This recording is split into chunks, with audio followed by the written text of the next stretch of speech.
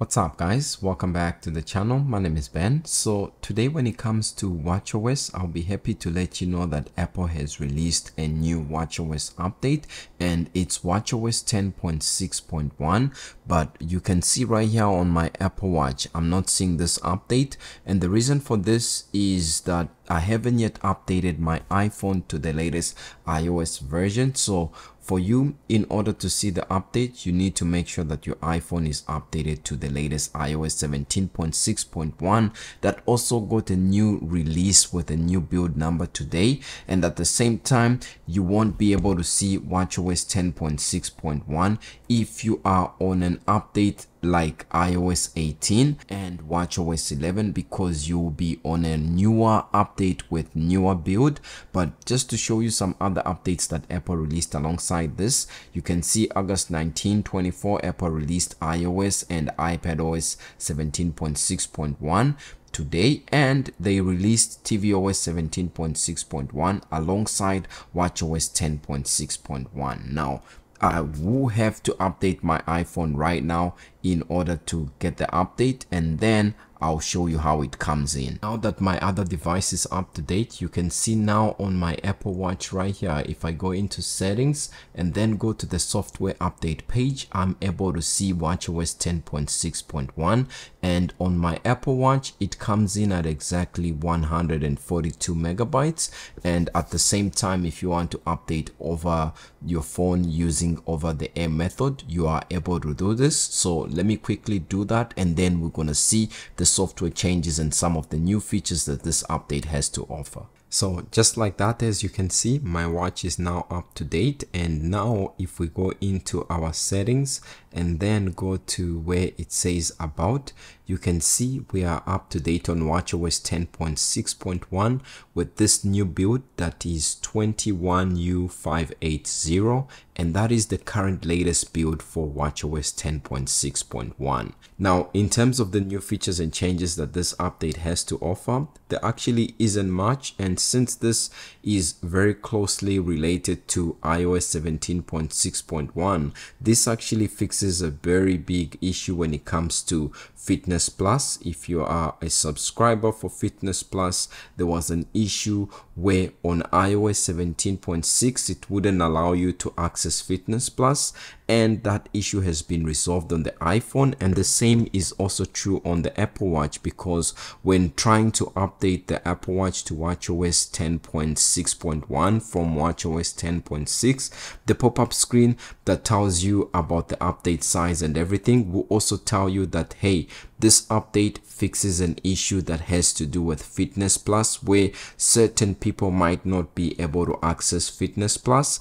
And keep in mind that there's uh, specific countries and regions where fitness plus is actually supported so you can see this is apple's newsroom page about fitness plus and it's available in these select countries and regions such as australia austria brazil canada colombia france germany and so on. So if it's not supported in your country or region regardless of whether you update or not if it's not supported it's not something that you are going to have access to.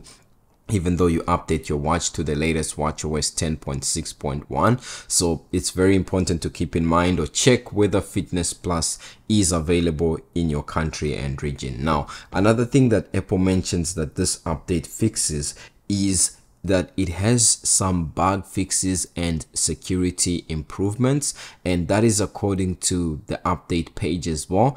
And you can see right here when it comes to the apple security releases for watchOS 10.6.1 here it mentions that there is no or this update has no published CVE entries which means there is no common vulnerabilities and exposures that have been released alongside this.